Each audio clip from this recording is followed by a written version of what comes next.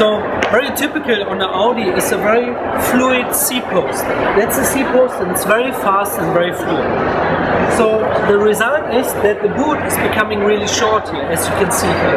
So we came up with a special idea to make the boot bigger in the middle so you can put your big suitcases in. And the solution is this special shape of the windscreen. The windscreen is negative here and this highlight goes up to the third brake light and everything is hand in hand. Technology and design is working hand in hand. This is the, the third brake light. This is negative as well, just as this shape. And this theory here goes up into this. And so the roof is positive, this is negative, this line is going back to the bonnet, and then you have everything working together.